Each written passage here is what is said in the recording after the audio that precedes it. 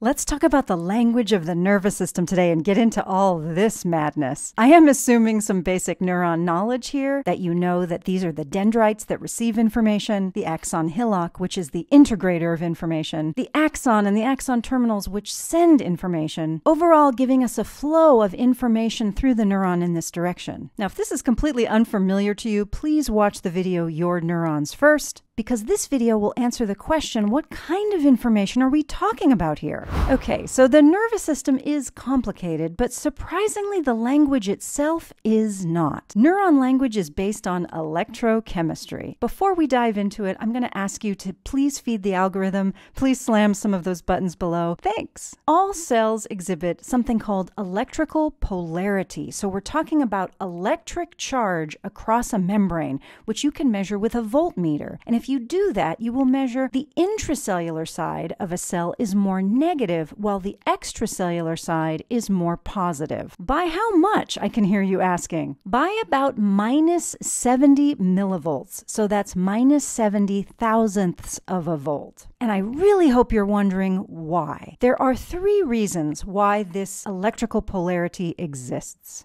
The first is the 3 sodium 2 potassium ATPase. Now, this is an active transport pump. And if you're not familiar with the concept of active transport, please check out this video on membrane transport. What this pump does is pump three ions of sodium from the inside to the outside of the cell against its gradient, as it pumps two ions of potassium from the outside to the inside of the cell against its gradient. It takes ATP to do this. This is what the protein actually looks like. So, what I hope you can see here is that every time this pump turns, you get a net plus one outside or a net minus one inside, depending on which side you're on. The second reason why cells exhibit this electrical polarity is because of the presence of potassium leak channel. These are basically like little pores through which potassium ions can flow in the direction that they want to go, which is usually out of the cell. As they move, they take their positive charges with them, thus making the inside of the cell more negative. And if you want to know why ions move in the direction that they do, I have a video on that as well.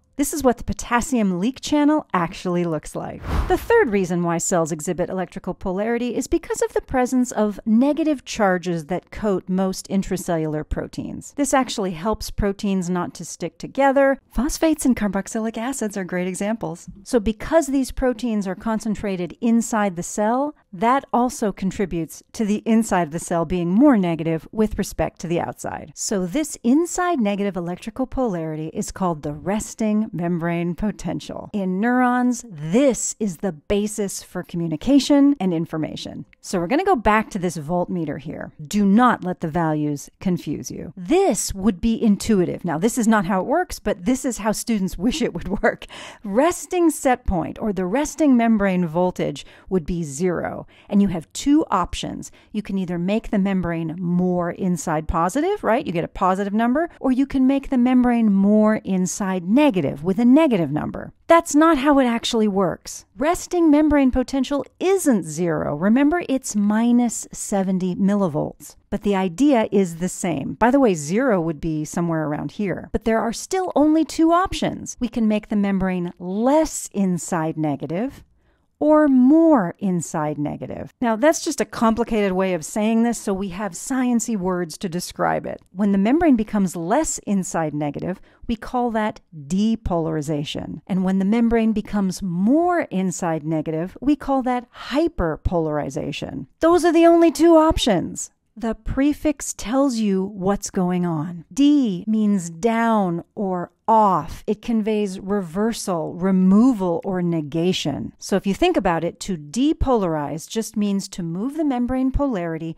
to make it less inside negative than it is at rest. Now, the prefix hyper means over, above, or beyond. So to hyperpolarize means to take that inside negativeness and make the inside even more negative than it already is at rest. That's what this graph represents. This is the way neurons manage information. We are talking about the receiving end of the neuron now, the dendrites into the cell body, and finally to the axon hillock. The resting membrane potential for most neurons is around minus 70. This V sub m is the membrane potential difference. It's the difference between where the membrane voltage is and zero. So there are two options. This distance can either decrease or increase. When we see the voltage moving in this direction so that VM decreases, that's what we call depolarization. We're making the inside of the membrane less negative than it is at rest. And that moves the membrane towards on. The alternative is that we go from rest and we go down on this graph. We are hyperpolarizing,